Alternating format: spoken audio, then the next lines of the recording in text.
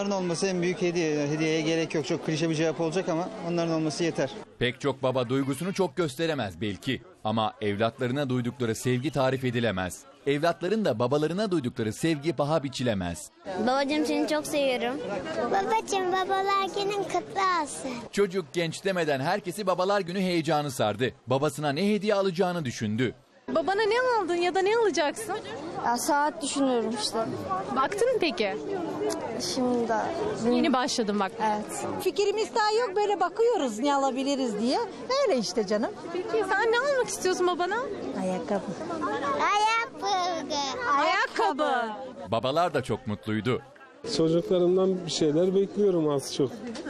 Bir baba olarak. Bir hazırlık seziyor musunuz peki?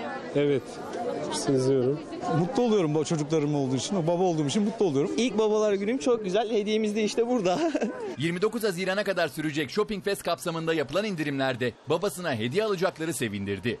İstanbul Shopping Fest kapsamında ucuzluğun adresi Mahmut Paşa'dan en lüks alışveriş merkezlerine kadar pek çok yerde çok cazip indirim fırsatları sunuluyor. Üstelik bu indirimler %90'a kadar varıyor. Ayakkabı, tişört, birçok şeye bakacağım, saate bakacağım. Fiyatlar nasıl? Yani daha uygun. %90'a varan indirimler varmış. Evet. Size bir şeyler alıyor musunuz? Yani düşünüyoruz almayı. Takım elbiseler, ayakkabılar bir hayli ucuzdu. Festival özel indirimler bizde efendim. Buyurun hoş geldin. E, takımlarımız 250 liradan 150 liraya düştü. Pantolonlarımız 35 liradan 15 liraya düştü. Fiyatlarımız gayet cazip. Herkesi bekleriz Mahmutpaşa'ya. 110 lira normal fiyat. Şu an 70 lira indirimli fiyat olarak veriyoruz. Erkek ayakkabı grubunda. Ve spor ayakkabılar? Spor ayakkabılar 55 liradır şu an 35 liradan verdik. Onlar da e, 20 lira gibi bir indirim yapıyoruz ki bu da %40'a falan tekamül eden bir indirimdir.